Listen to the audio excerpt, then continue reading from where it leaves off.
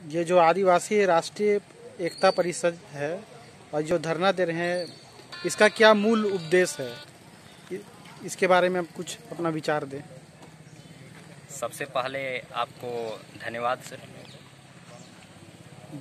आज हम लोग राष्ट्रीय आदिवासी एकता परिषद के द्वारा ये धरना प्रदर्शन हम लोग किए हुए हैं और इस धरना का मुख्य उद्देश्य है कि आज देश भर में देश में आदिवासियों पर हो रहे अन्य अत्याचार के विरोध में आज देशव्यापी चरणबद्ध आंदोलन, जो राष्ट्रीय आदिवासी एकता परिषद के द्वारा किया गया है, घोषणा किया गया है, आज उसका हम लोग धरना प्रदर्शन दे रहे हैं, कर रहे हैं। आज इस धरना प्रदर्शन इसलिए हम लोग कर रहे हैं कि पूरे देश में अलग अलग तरीके से आदिवासियों को विस्थापन करने के लिए षड्यंत्र किया जा रहा है। और ये जो विस्थापन हमारे लिए गंभीर चिंता का विषय है और केवल ये झारखंड में ही नहीं पूरे भारत देश के हर राज्य में हर जगह अलग अलग तरीके से विकास के नाम पर आ, जंगली पशु जिसको बाघ हाथी भालू के नाम पर वो कॉरिडोर के माध्यम से निर्माण कर रहे हैं और हम लोग को विस्थापन करने का षड्यंत्र चल रहा है। इसलिए हम लोग इसके विरोध में धरना प्रदर्शन किए हुए हैं। दूसरी बड़ी समस्या है कि जो पांचवी अनुसूचित क्षेत्र पांचवी अनुसूचित क्षेत्र में जो धारा दो के अंतर्गत जो आता है, इस क्षेत्र में हमारा आदिवासियों का अधिकार है। और इसमें हम लोग को स्वयं सत्ता का अधिकार है।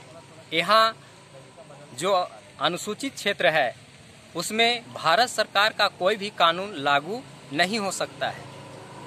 और साथ ही इसमें ना ही कोई ज़मीन खरीद सकता है। लेकिन आज भू माफियाओं के द्वारा, खनिज माफियाओं के द्वारा, असंवैधानिक तरीके से आज हमारा ज़मीन को खरीद फरोख्त का काम चल रहा है।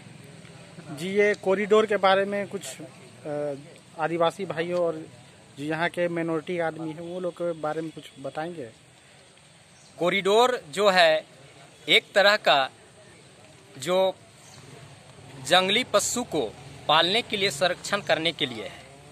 और एक कॉरिडोर के माध्यम से हम लोगों को विस्थापित करने का षड्यंत्र चल रहा है।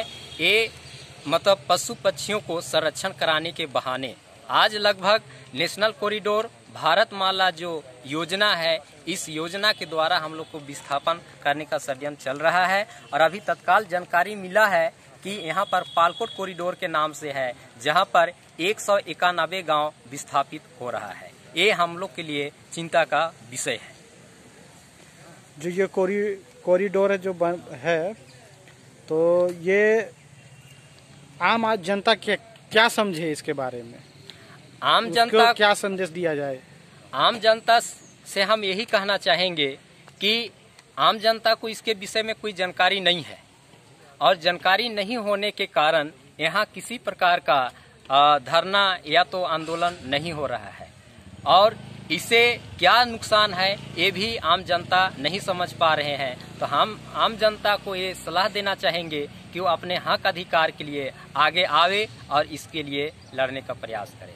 साथ ही जो भारत माला जो योजना है, ये उत्तर से दक्षिण और पूर्व से पश्चिम, ये जो रास्ता बनाने का जो षड्यंत्र है, इसके माध्यम से भी हमारा भारी मात्रा में विस्थापन होगा।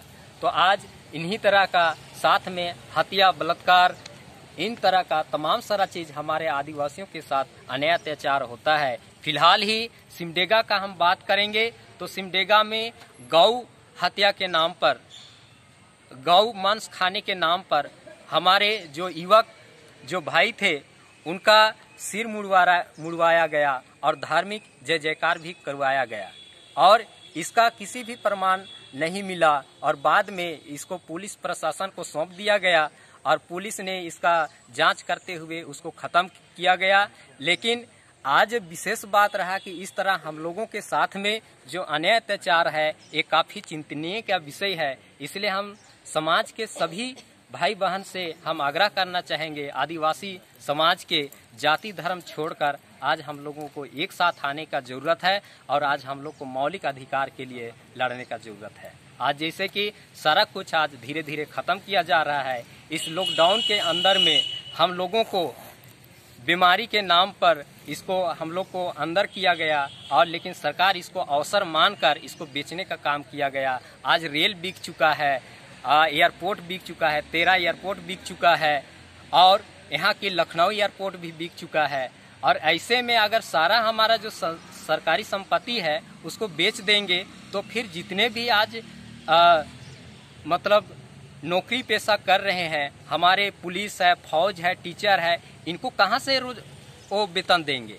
तो ये इस तरह का जो गंभीर समस्या है इसलिए हम सभी लोगों को जागने का ज़रूरत है और खासकर हम लोग आज राष्ट्रीय आदिवासी एकता परिषद के बैनर तले आज हम लोग ये धरना प्रदर्शन किए हुए हैं और आज यहाँ पर ही नहीं, पूरे भारत के जितने भी तहसील हैं, वो सभी तहसील में किया जा रहा है। और आज यहाँ हम लोग गुमला जिला में, यहाँ हम लोग गुमला ब्लॉक के सामने हम लोग धरना प्रदर्शन किए हुए हैं और इसके साथ में चैनपुर में भी आज हमारे संगठन के जो साथी हैं, उन लोग चैनपुर में कर रहे हैं।